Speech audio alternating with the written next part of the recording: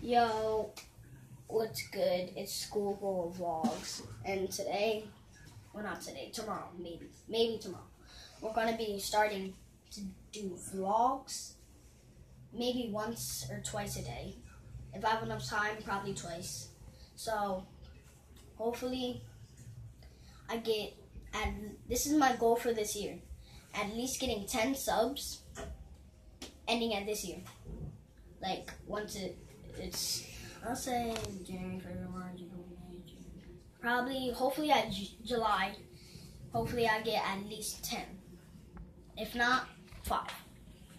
So that's pretty much that's pretty much it. So I'm guessing.